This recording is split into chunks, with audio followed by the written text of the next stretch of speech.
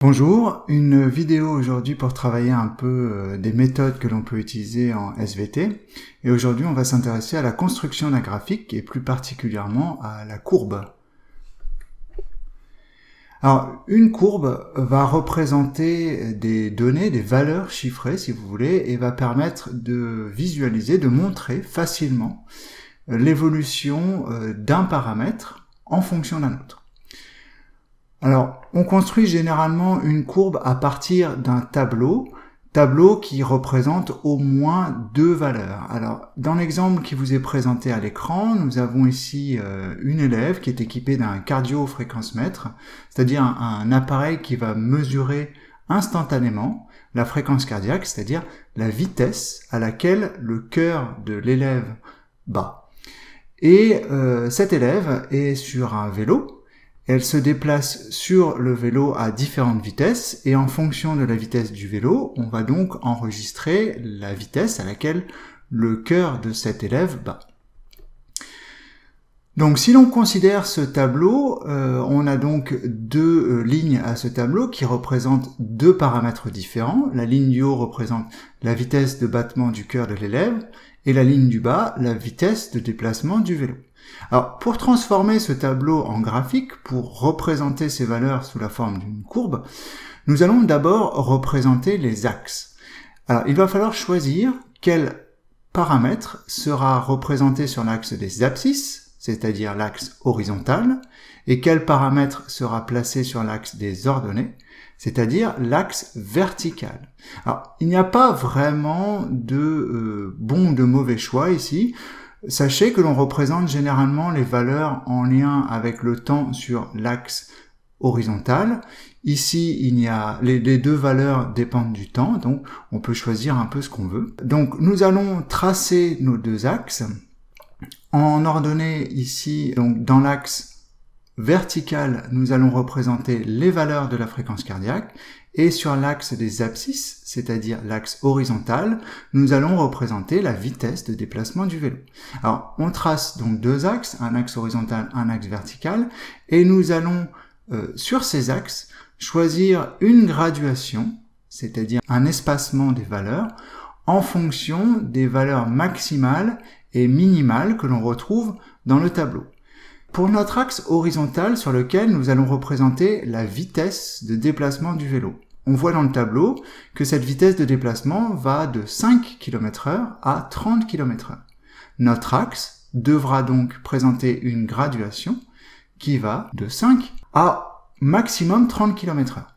Ensuite, sur l'axe horizontal, nous avons la fréquence cardiaque. La fréquence cardiaque dans le tableau va de 80 battements par minute à 205 battements par minute. Nous allons donc choisir une graduation qui va permettre de comprendre ces valeurs. Ici, j'ai choisi des valeurs entre 0 et 250 qui comprennent bien les valeurs entre 80 et 205. Les graduations sur les axes sont représentées avec un espacement régulier, c'est-à-dire que si on prend l'axe horizontal, entre 0 et 5, nous avons la même distance entre 5 et 10. Entre 5 et 10, nous avons la même distance entre 10 et 15, etc. Donc maintenant que nous avons nos axes, il nous reste à indiquer sur ces axes à quoi correspondent les valeurs qui y seront représentées. Donc en euh, abscisse, en horizontal, nous allons indiquer la vitesse de déplacement du vélo. Attention à bien préciser les unités que vous utilisez. Ici, il s'agit de km heure. Et sur l'axe vertical, l'axe des ordonnées, nous allons représenter la fréquence cardiaque, ici en battements par minute. Bien, notre graphique est prêt, nous avons représenté les axes, maintenant il nous reste à tracer à l'intérieur de ce graphique euh, la courbe qui correspond aux valeurs représentées par le tableau. Donc nous allons placer nos points. Un point correspond à un couple de valeurs, c'est-à-dire, dans notre exemple, à une valeur de fréquence cardiaque et une valeur de vitesse de déplacement du vélo. Donc, si l'on considère euh, le premier point, la vitesse de déplacement du vélo ici est de 5 km heure. Nous allons donc nous placer sur notre axe de vitesse de déplacement du vélo, l'axe horizontal, et à partir de la valeur 5, tracer en pointillé une ligne verticale. À cette vitesse de déplacement du vélo correspond dans le tableau une fréquence cardiaque de 80 battements par minute. Nous allons donc repérer 80 sur notre axe vertical, celui qui représente la fréquence cardiaque, et nous allons tracer à partir de la valeur 80 sur cet axe vertical un trait cette fois-ci horizontal en pointillé. À l'intersection entre nos deux traits en pointillé, nous retrouvons notre premier point. L'intersection des deux lignes que nous venons tracer correspond au premier point qui représente ici la valeur de fréquence cardiaque 80 battements par minute pour une vitesse de déplacement du vélo de 5 km heure. Et cette méthode, nous pouvons l'appliquer pour tous les autres points. Nous allons ainsi placer les différents points de notre graphique. L'étape suivante correspond à tracer la courbe. Nous avons placé nos différents points. Nous allons maintenant pouvoir relier les points ici à main levée. Attention, seuls les points placés correspondent à des mesures. Ici, tous les points que nous avons représentés dans notre graphique correspondent à des valeurs que nous avons trouvées dans notre tableau.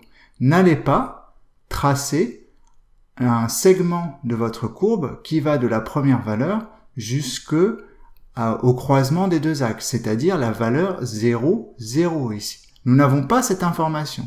Et si l'on y réfléchit bien, ça voudrait dire que à la vitesse de déplacement 0, c'est-à-dire pour le vélo à l'arrêt, la fréquence cardiaque de l'élève est de 0. C'est-à-dire que son cœur ne bat pas. Ce qui n'est pas exact. Donc, ce segment n'a pas à être tracé, n'a pas à apparaître sur notre courbe. La dernière étape de la construction d'un graphique correspond à donner un titre à ce graphique. Et ce titre va indiquer quel paramètre sur l'axe vertical varie en fonction de l'autre paramètre sur l'axe horizontal. C'est une méthode assez simple à analyser et qui marchera pour à peu près tous vos graphiques. Vous allez donner comme titre ici le graphique de ce qui est indiqué sur l'axe vertical, c'est-à-dire graphique de la fréquence cardiaque d'un élève faisant du vélo, en fonction de ce qui est indiqué sur l'axe horizontal, ici la vitesse de déplacement du vélo. Le titre ici sera donc graphique de la fréquence cardiaque en fonction de la vitesse du vélo. Si l'on résume pour être sûr d'avoir fait un beau graphique, eh bien, il faut vérifier une fois le travail réalisé que les axes sont correctement gradués, que tous les points du tableau sont correctement positionnés, que la courbe est tracée à main levée et que la courbe présente un titre correct. Voilà, j'espère que cette vidéo vous aidera et nous allons appliquer euh, cette méthode ensemble.